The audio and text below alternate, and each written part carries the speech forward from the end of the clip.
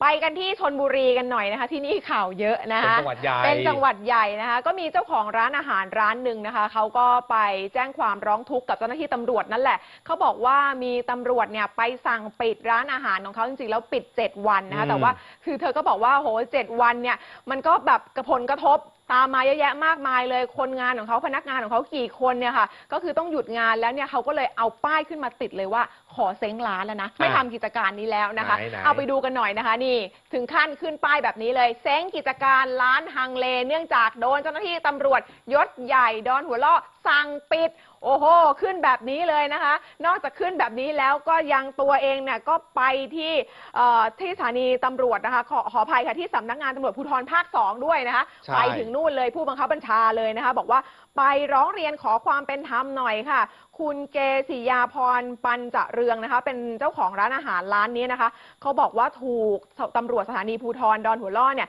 สั่งปิดกิจการ 7 วัน เพราะว่าบริการไม่ประทับใจคนบางคนอะเธอพูดแบบนี้นะเธอให้การแบบนี้นะคะอ่าเธอบอกเธอเปิดร้านอาหารมา 9 ปี เธอบอกว่าเธอทำตามคำสั่งราชการมาตลอด แต่ปิดร้านครั้งนี้เนี่ยเดือดร้อนหนักครับ พนักงาน 20 กว่าคนต้องตกงาน และคุณเกษยาพรบอกว่าที่ถูกปิด เพราะความไม่พอใจของคนบางคนที่เข้ามาในร้าน และเป็นคนสนิทกับตำรวจที่สถานีตำรวจภูธรดอนหัวล่อ เธอบอกว่ามีนักร้องมาคุยด้วย แต่พูดจาไม่ถูกหูไม่ลดค่าอาหารให้ คนที่ว่านี้ก็เลยไปแจ้งตำรวจ สุดท้ายถูกสั่งปิดด้วยวาจาด้วยครับ มันไม่กล้าเปิดแล้วค่ะหน้าเวลานี้ เพราะเราไม่รู้ว่าเราจะโดนอะไรอีกในอนาคตใช่ไหมคะ เราทำอาชีพแบบนี้วันดีคืนดีถ้าเกิด มันมีอะไรก็เราไม่รู้เอาพูดตรงๆตามภาษาชาวบ้าน เกิดมีใครมีทำอะไรมายัดเยียดมาปลอมแปลงอะไรอย่างนี้นอย่างนี้กับเราอะเราเกิด ความรู้สึกไม่ปลอดภัยในชีวิตแล้วในขณะนี้ค่ะ สุดท้ายเราต้องตัดสินใจ เซ้งค่ะอีกอย่างเดียวคือเราไม่ทำอ่าแล้วนะคะ หลังจากผู้บัญชาการตำรวจภาคสองนะคะได้มีการพูดคุยแล้วนะคะก็รับหนังสือนะคะ แล้วก็จะเตรียมที่จะมีคำสั่งในการตั้งคณะกรรมการมาสอบสวนข้อเท็จจริงอีกครั้งหนึ่งนะคะ แล้วก็ให้ความมั่นใจเลยว่าเรื่องนี้ไม่เงียบแน่นอนนะคะ เดี๋ยวตามต่อให้นะคะ แล้วก็มีคำชี้แจงมาด้วยใช่นะคะ ดูฝั่งของตำรวจในพื้นที่พันตำรวจเอกประเสริฐ โตศักดิ์สิทธิ์ท่านเป็นผู้กำกับการสถานีตำรวจภูธรดอนหัวล่อในพื้นที่เลย บอกว่า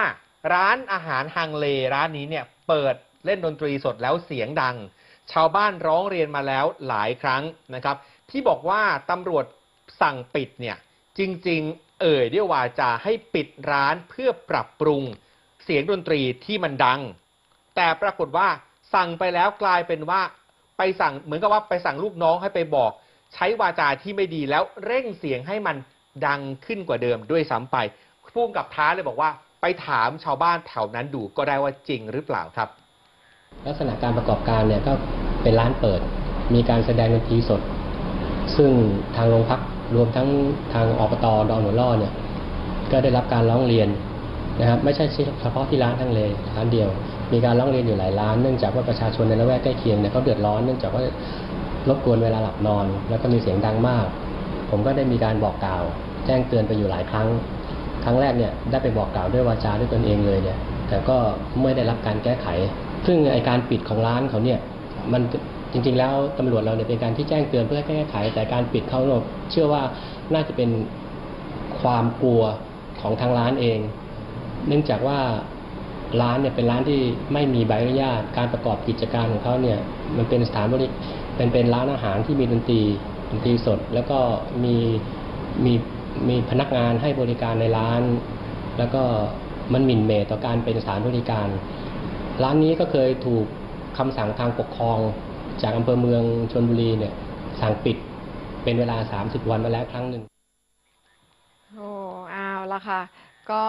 หลังจากนี้แล้วจะยังไงต่อไปคะจะเปิดต่อไหมหรือถามใจเธอดูก่อนแล้วกันนะก็ต้องล้าก็เปล่าต้องดูว่าทำถูกต้องได้หรือเปล่าค่ะแต่ผู้กำกับบอกว่าที่บอกว่าตัวผู้กำกับไปนั่งที่ร้านเนี่ยจริงครับอืมแต่ไปครั้งเดียวค่ะตอนมารับตำแหน่งใหม่ๆ ไม่ได้ไปวันที่ 24 เมษาตามที่เป็นข่าวแน่ๆผู้กำกับอ่าบอกอย่างนั้นนะครับ